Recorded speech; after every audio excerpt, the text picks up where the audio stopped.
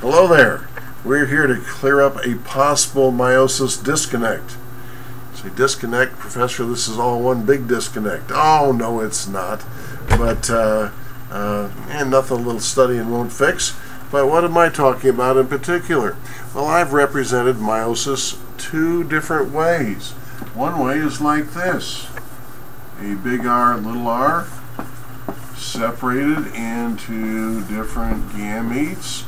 And so, what fraction of this parent's gametes will get a big R?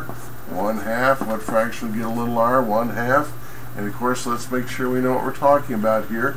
That big R, little r represents a parent's what? A parent's body cell. Yes, it does. And uh, parent's body cell. What is that little separator, those two arrows represent? The process we're talking about here. Right? Meiosis. And what do these guys represent? Gametes. Yes, gametes. And so, okay, Professor, no big deal. What's the disconnect? Well, I've also represented meiosis like this. A 2N parent cell producing how many daughter cells? Four. One, two, three, four. And what have I put in each daughter cell?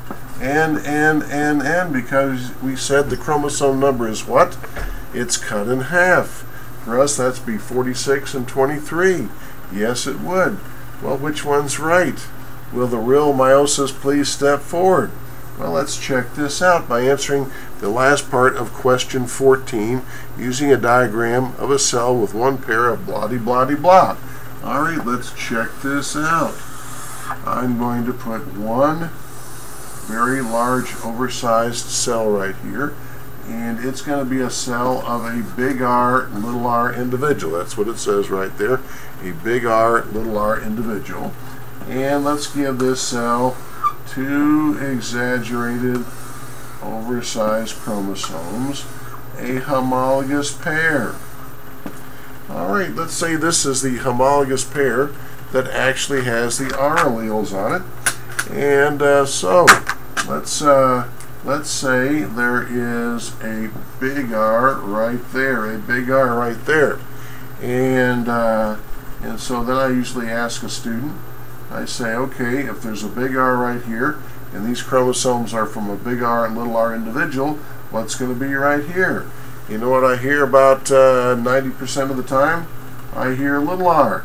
And I go, eh, no, sorry. What have we learned about sister chromatids? They are what? They are identical. Well, this blue pen doesn't look like it wants to work for me. So I'll have to switch back to black, I guess. And so, we have... Uh, Big R, big R. You see, what's the deal, Professor? I thought there's only one big R. What are you talking about? Well, aren't these just uh, two copies of the same allele? Two copies of the same allele? Yes, they are. And uh, there is a process called chromosome duplication that actually makes two copies of the same allele. So those are actually two copies of the same allele. Where would the little r's be? They'd be right over here little r, little r. And so in both cases, that would be two copies of the same allele as well, right? Two copies, two copies of the same allele. So we got two copies of the same allele here, two copies of the same allele here. Well, let's say this very cell undergoes meiosis. Okay, we are going to represent all the middle stages of meiosis by the word meiosis and skip to the end of the program. How many daughter cells does meiosis produce? It's four, right? Let's represent four different cells. One, two, three, four. I barely got them on there, didn't I? All right, how will these original chromatids over here in chromosomes be distributed by meiosis uh, among these daughter cells? Well, they'd be distributed evenly. What we say happens during meiosis 1? Homologous pairs are separated. What happens during meiosis 2? Sister chromatids are separated. And so they end up in separate uh, daughter cells, separate uh, gametes. And so each one of these will get one of the original chromatids. There's one, two, three, four of them. And so how many of these daughter cells are going to get a big R? Well, there's two big R's to be had, right? Let's just make it simple and say these two right here get a big R. And obviously the other two then would get a little r. That's what meiosis would do. So what fraction of these daughter cells get a big R? 2 out of 4, which is 1 half big R, right? How many get a little r? 2 out of 4, which is 1 half little r. Alright, and so, uh, let's go back up to this drawing up here. Which one of these is the correct representation? Huh? Uh, actually, what? They're both right in a way, are they not? They both represent some aspect of, of uh, meiosis. Uh, let's uh, take this one over here. Are there four daughter cells? Yes, there are. Was the chromosome number cut in half? I don't know. How many chromosomes in this parent cell? A whopping two. How many chromosomes in each daughter cell represented? One. So was the chromosome number cut in half from 2 to 1? Yes, it was. And so this represents exactly what's going on here. Uh, the chromosome number was cut in half. There's four daughter cells. Well, what about this diagram? It represents meiosis as being an allele separator, and half the daughter cells in this example getting a big R, and half of daughter cells getting a little r.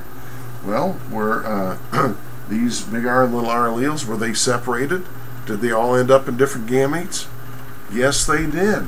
Each one of these gametes has either a big R or a little r. Uh, what fraction get the big R? Got the big R? Uh, one half of them. One half got the little r. And so does this represent one aspect of what's going on in meiosis? Sure, alleles are separated, and uh, and half in this case, it's you know where we uh, have a heterozygous parent. It's easy to kind of see what's going on here uh, half half of the uh, daughter cells uh, get the dominant allele, half get the recessive.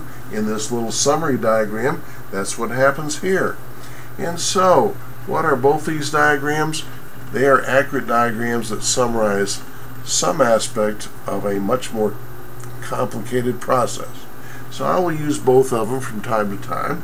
I use this one from sometimes, this one, depending on what aspect of meiosis that I'm talking about at the time, but these both accurately summarize some aspect of meiosis, do they not? Is there a disconnect? Nah, there's no disconnect. Disconnect? All right, that's it for now. Okay, bye-bye.